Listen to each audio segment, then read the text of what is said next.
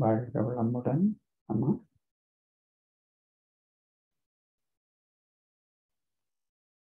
ஆதியனும் பரம்பொருள் எழுச்சி பெற்று அணுவந்த உயிராகி அணுக்கள் கூடி மோதி இணைந்து இயங்குகின்ற நிலைமைக்கேற்ப மூலகங்கள் பலவாகி அவை இணைந்து பேதித்த அண்ட கோடிகளாய் மற்றும் பிறப்பிறப்பிடை உணர்தல் இயக்கமாகி நீதி நெறி உணர் மாந்தராகி வாழும் நிலை உணர்ந்து துண்டாற்றி இன்பம் காண்போம் வாழ்க வளமுடன்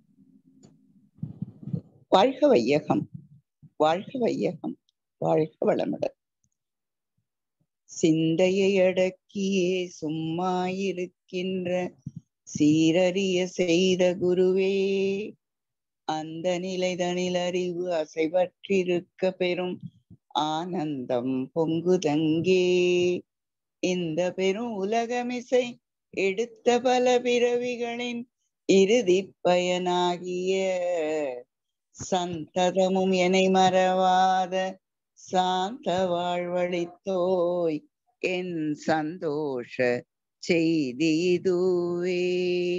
வாழ்க வையகம் வாழ்க வளமுடன்.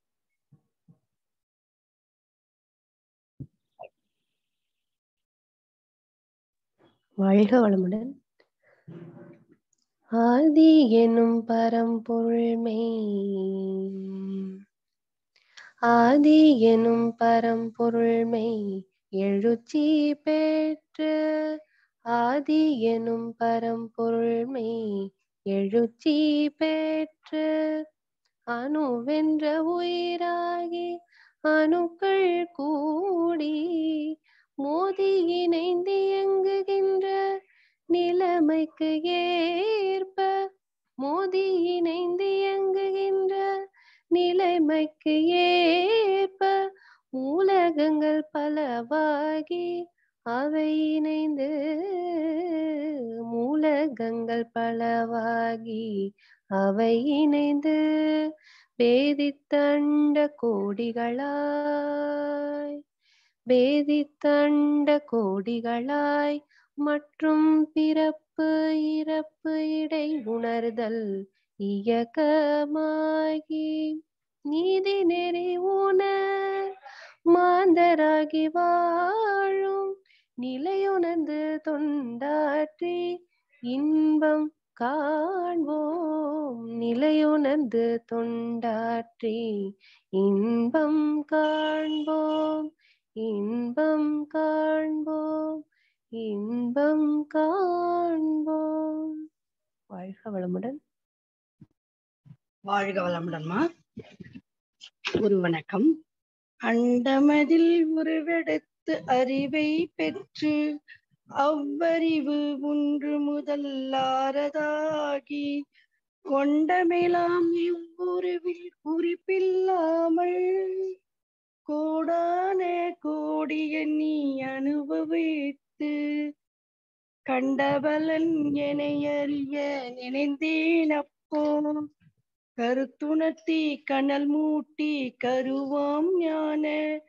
குண்டலினி எனும் என்மை உணர்வு எழுப்பி குறித்து என்னை அறிவித்த குருவே அன்பே.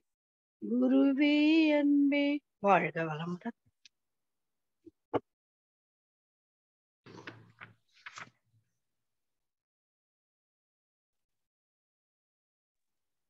வாழ்க வளமுடன். அறிவேதான் தெய்வம் என்றார் தாயுமானா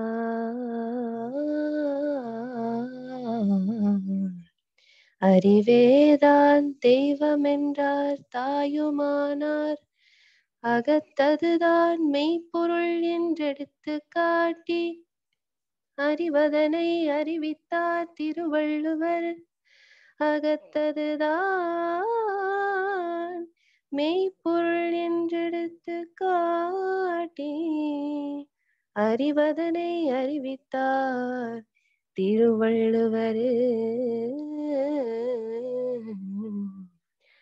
அவ்வறிவை அறிவதற்கு முறைகள் சொன்னார் அறிஞர் திருமூலர். அவ்வறிவில் ஆழ்ந்து ஆனந்த கவியார்த்தார் ராமலிங்கரு. அறிவில் அறிவாய் நிலைத்து அறம் வகுத்தோர் அதை வாழ்ந்து காட்டினோர் நினைவு கூர்வாம். அறிவில் அறிவாய் நிலைத்து அறம் வகுத்தோர் அதை வாழ்ந்து காட்டினோன். நினைவு கூர்வாம் நினைவு கூர்வாம் நினைவு கூர்வாம் வாழ்க வளமுடன். வாழ்க வையகம். வாழ்க வையகம். வாழ்க வளமுடன். குரு வாழ்க குருவே துணை. ஞான களஞ்சிய கவி இணைந்துணர் இன்பம். முற்றறிவு சுத்த வெளி மூல ஆற்றல். முதற் பொருளாயிருந்த சிவம். உயிர்களோட பற்றறிவாய் தேவை பழக்கம் சூழ்ந்த பல நிலைகள் நிலைகளுக்கேற்ப ஐந்து புலன்கள் மூலம். கற்றறிவாய் விரைவு பருமந்தூரம் காலம் என்ற கணக்குகளாய் எல்லை கட்டி சிற்றறிவாய் இயங்கு திருவிளையாட்டை தன் சிந்தனையால் உணரின்பம் சிவயோகமாம் தன் சிந்தனையால் உணரின்பம் சிவயோகமாம். நன்றி. வாழ்க வளமுடன். வாழ்க வளமுடன். பாக்யலட்சுமி அம்மா.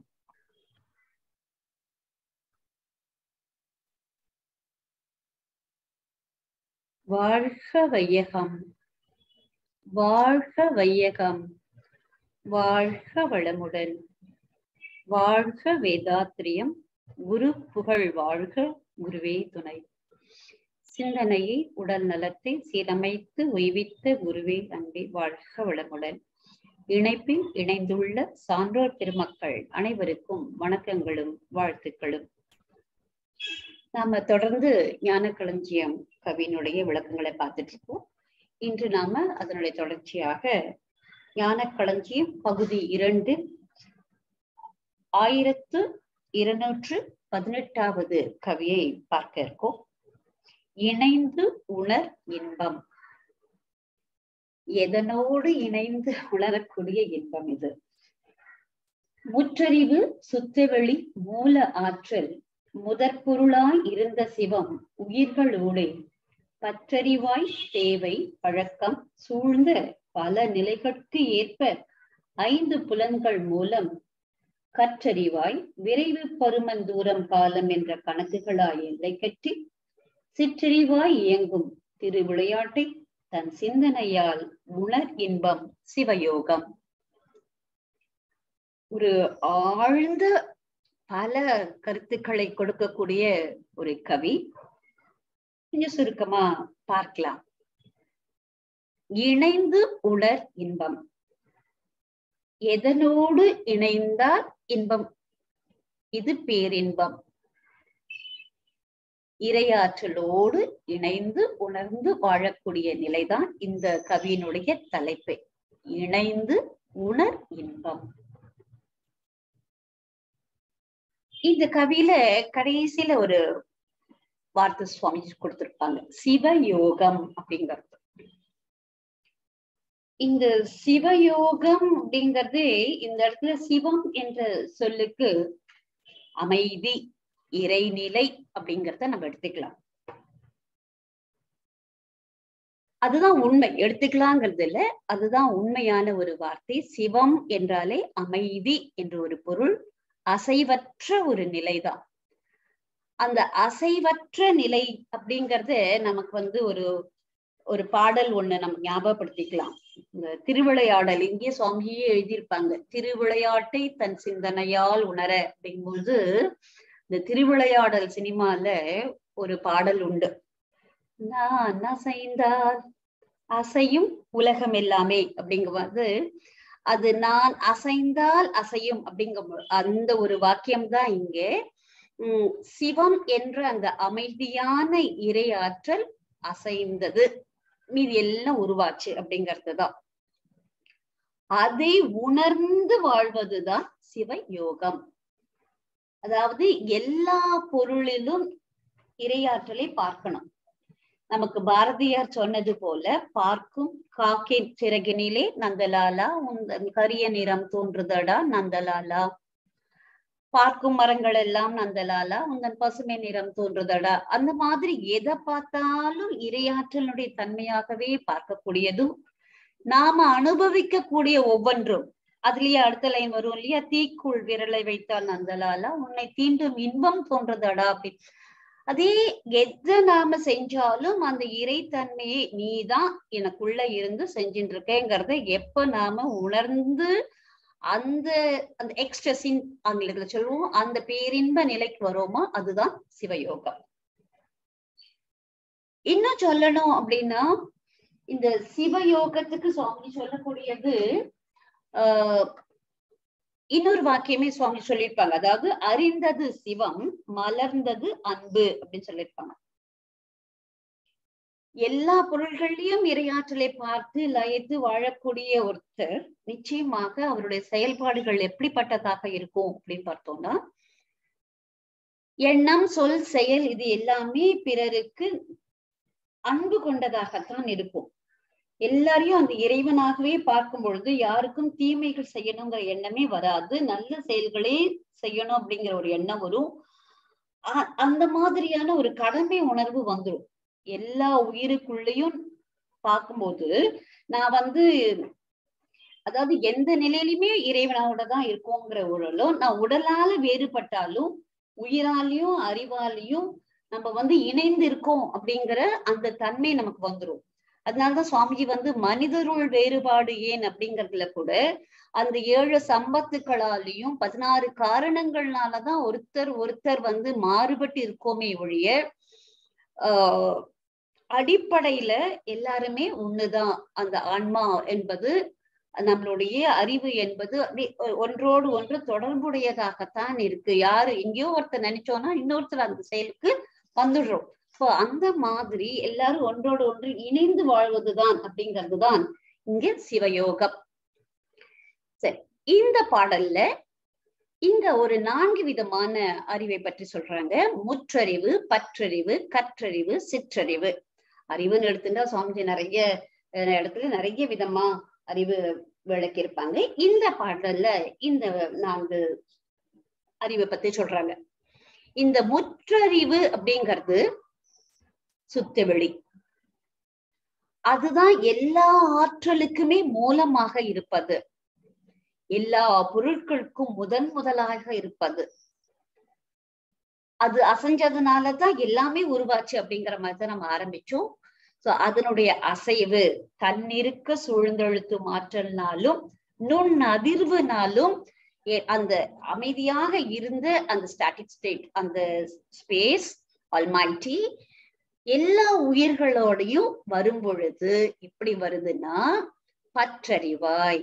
அந்த பற்றறிவு அப்படிங்கிறது என்னன்னா நாம இன்னைக்கு எனக்கு இது வேணும் அது வேணும் இது என்னோட பழக்கம் இது அவங்களுக்கு வேணும் இன்னைக்கு என்னோட சூழ்நிலை அந்த மாதிரி ஆச்சு அதனால நான் இப்படி பண்ணினேன் அப்படின்னு எதேதோ ஒரு காரணங்கள் எல்லாம் சொல்லி எல்லாத்தையும் நம்ம செஞ்சுட்டே இருக்கோமே. இந்த ஐம்புலன்கள் மூலமாக நாம எதெல்லாம் செய்யறோமோ தேவை பழக்கம் சூழ்ந்த பல நிலைகளுக்கு ஏற்ப இதெல்லாம் செஞ்சுட்டே இருக்கும் இன்னும் வேணும் இன்னும் வேணும் அந்த பற்றோடு செய்யக்கூடிய அந்த நிலையில இருக்கோமே அது பற்றறிவு. அப்புறம் என்ன பண்றோம்? கொஞ்சம் ஏதோ புக்ஸ் படிக்கிறோம் இல்ல யாராவது ஏதாவது சொல்றாங்க சொல் புத்தி அப்படின்னு சொல்றோமே. அந்த மாதிரி ஒரு நிலை இருக்கு. அதாவது வேகம் தூரம் பருமன் காலம்.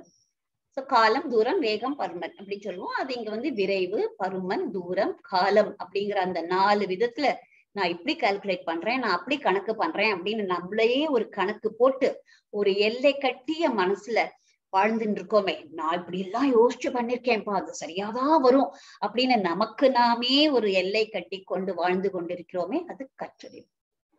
ஆனா இதா இந்த பற்றறிவோ கற்றறிவோ எங்க இருந்து வந்தது அப்படின்னா சிற்றறிவாய் அந்த முற்றறிவில இருந்துதான் வந்தது. அதை நாம புரிஞ்சுக்கணும். அந்த டொட்டாலிட்டி முற்றறிவு முழுமையானது இந்த டோட்டல் கான்சியஸ்னஸ் அதுல இருந்து இது ஒரு ஃப்ராக்ஷன் இதுக்குள்ள இருக்கிறது ஒரு சிற்றறிவு. இதெல்லாம் நாம நடத்தின்னு இருக்கோமே இது எல்லாம் இறைவனின் திருவிளையாடல் தான் அப்படிங்கறத சிந்தையால உணர்ந்து நம்மளுடைய செயல்பாடுகள்ல நல்ல ஒரு மாற்றத்தை கொண்டு வந்தோம் அப்படின்னா அதுவே சிவயோகம். அந்த சிவயோக நிலையில இருந்தோம் அப்படின்னா நிச்சயமாக நமக்கு பேரின்பம் கிடைக்கும். அதுதான் இணைந்து உணர் இன்பம் என்ற ஒரு அருமையான தலைப்புல நமக்கு சுவாமிஜி கொடுத்திருக்காங்க. இந்த கவியினுடைய ஆஹ் ஆங்கில இத கொஞ்சம் நம்ம பார்க்கலாம். Be blessed by the divine power. be blessed by the divine power. My sincere pranam to all of you, those who are present here in today's meditation session. This poem headed as ecstasy. When we get that ecstasy, when we merge ourselves with the total consciousness, that is the blissful state. We can see even that blissful state is ecstasy and here swamiji has mentioned the word siva yoga. Siva means static state the absolute space or the dark matter almighty god. However we call it that is the great greatness of the great. So when we merge ourselves with that almighty there is a change within ourselves. We seek everywhere the godliness and we try to be with godliness that is none other than nothing but love and compassion so we move with everyone with love and compassion. That's why in Tamil we say, Arindadu Sivam Malarndadu Anbu. Now, in this poem particularly, Swamiji mentioned about four different consciousness. One is total consciousness, then emotional consciousness, bookish cons consciousness, and limited consciousness all this, the, the emotionals or bookish are in between, which is um, just coming out from the fractions, that is the limited consciousness only. And once we realize that all these are from the total consciousness, definitely we can realize ourselves. And this emotional consciousness is due to our uh, need, practice, and customs and the situations. We use all our five senses and we make ourselves, this is right. What I'm doing is only because of this. We, ju we justify ourselves. That is that emotionals. Whenever we justify, that is nothing but emotional consciousness. Sometimes we argue with somebody, right? No, no, no. This is what I learned in this book that is what told by somebody i heard this from some saint like that we always uh, up, try to apply our bookish knowledge and uh, we calculate that with i mean based on time force mass and this, distance and we try to conclude ourselves that is nothing but the limited consciousness so the total consciousness is unlimited. There's no limit for it. So how to realize all that?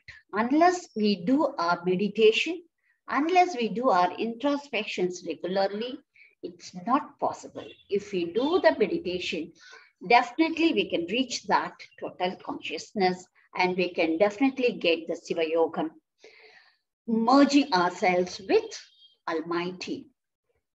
See that uh, even I can um, quote one more thing here, how to control ourselves. That is, as in when we um, enjoy certain things, there too we can focus with the Agna Durya. That is why during our meditation time, whenever they give the initiation, they'll uh, gi- give us the bell sound and they give us the sweet and ask us to focus only on that particular place. See, all that to modify or uh, change ourselves and to realize everything is nothing but the total consciousness. So we all march towards that and let us all get the ecstasy. Thank you, one and all, for giving me this opportunity. Be blessed by the divine. வாழ்க வளமுடன், வாழ்க வளமுடன், வாழ்க வளமுடன். வாழ்க வளமுடன் அம்மா தமிழிலும் ஆங்கிலத்திலும்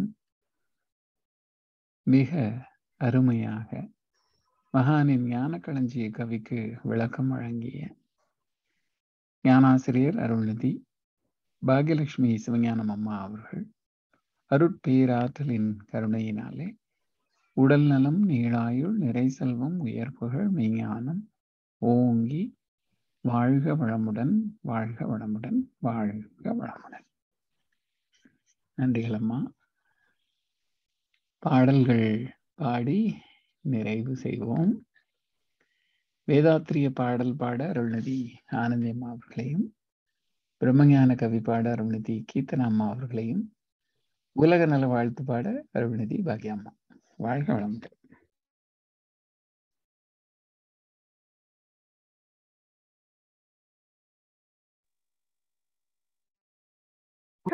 வாழ்க வைய வாழ்க போரில்லா நல்லுலகம் பொருள் துறையில் சமநீதி நேர்மையான நீதிமுறை நில உலகு கோராட்சி சீ செய்த பண்பாடு சிந்தனையோர் வழிவாழ்வு. சிறப்புணர்ந்த பெண்மதிப்பு. சிறுவர்கட்கே விளையாட்டு. தேர் திருவிழா தவிர்த்தல் செயல் விளைவு உணர்கல்வி. செயல் விளைவு உணர் கல்வி சீர்காந்த நிலை சீர்காந்த நிலை விளக்கம். சிந்தனையோர் வழிவாழ்வு. பார் முழுவதும் உணவு நீர் பொதுவாக்கல். பல மதங்கள் பல கடவுள். பழக்கமொழித்து உண்மை ஒன்றை தேர்ந்திடுதல். வாழ்க வையகம் வாழ்க வளமுடன். வாழ்க வளமுடன். இறைவெளியே தன்னிருக்க சூழ்ந்தழுத்தும் மாற்றல் சூழ்ந்தழுத்தும் மாற்றல். இதன் திணிவு மடிப்பு விழ சுழலும் நுண் விண்ணாம். இதன் திணிவு மடிப்பு விழ சுழலும் நுண் விண்ணாம். நிறைவெளியில் விண் சுழல நெருங்குகின்ற உரசல் நெருங்குகின்ற உரசல். நிலைவெளியில் எழுப்புகின்ற நேரலைகள் காந்தமாம். நிலைவெளியில் எழுப்புகின்ற நேரலைகள் காந்தமாம். மறைப்பொருளாம் காந்தம் தன் மாத்திரைகள் ஐவகை மாத்திரைகள் ஐவகை மலைக்காதீர் விண்கூட்டம் மாபூதம் ஐந்துமாம். மலைக்காதீர் கூட்டம் மாபூதம் ஐந்துமாம். முறையாய் அக்காந்த அலை மனமாம் உயிருடல்களில் முறையாய் அக்காந்த அலை மனமாம் உயிருடல்களில் மதி உயர்ந்தி உண்மை பெற மாபிரம்ம ஞானமாம். மதி முயந்தி உண்மை பெற மா பிரம்ம ஞானமாம். மா பிரம்ம ஞானமாம். வாழ்க வளமுடன். வாழ்க வளமுடன் உலக நல வாழ்த்து உலகமெல்லாம் பருவமழை ஒத்தபடி பெய்யட்டும் உழவரெல்லாம் தானியத்தை உவப்புடனே பெருக்கட்டும் பல தொழில்கள் புரிகின்ற பாட்டாளி உயரட்டும் பகுத்துணர்வில் தொகுத்துணர்வு பண்பாட்டை உயர்த்தட்டும் கலகங்கள் போட்டி பகை கடந்தாட்சி நடக்கட்டும் கல்லாமை கடன் வறுமை களங்கங்கள் மறையட்டும் நல வாழ்வை அளிக்கும் மெய் ஞான ஒளி வீசட்டும். நம் கடமை அறவாழ்வின் நாட்டத்தே சிறக்கட்டும். நம் கடமை அறவாழ்வின் நாட்டத்தே சிறக்கட்டும். நம் கடமை அறவாழ்வின் நாட்டத்தே சிறக்கட்டும். வாழ்க வையகம் வாழ்க வையகம். வாழ்க வளமுடன். வாழ்க வளமுடன். இன்றைய தவத்திலே கலந்து கொண்ட அன்பர்கள் தவத்தை வழிநடத்திய அன்பர்கள் நற்சந்தனை வழங்கியவர் பாடல்கள் பாடிய அன்பர்கள் அனைவரும் வாழ்க வளமுடன். அவரது அன்பு குடும்பம் உடல் நலம் மனவளம் பொருள் வளம் அருள் தொண்டு ஆன்மீக தொண்டு. வாழ்க வளமுடன் வாழ்க வளமுடன் வாழ்க வளமுடன். இத்துடன் இன்றைய காலை தம நிகழ்வும் மகிழ்வோடும் நிகழ்வோடும் இனிதே நிறைவு பெறுகின்றது. இறையொருளும் குருவருளும் நாம் அனைவரையும் எப்போதும் சூழ்ந்திருந்து இந்த இறைநிலை உணர் பயணத்திலே நம்மை சிறந்த முறையிலே வழி நடத்தட்டும் என்று வாழ்த்தி வணங்கி நன்றி கூறி அமைகிறேன். வாழ்க வளமுடன் வாழ்க வளமுடன் வாழ்க வளமுடன்.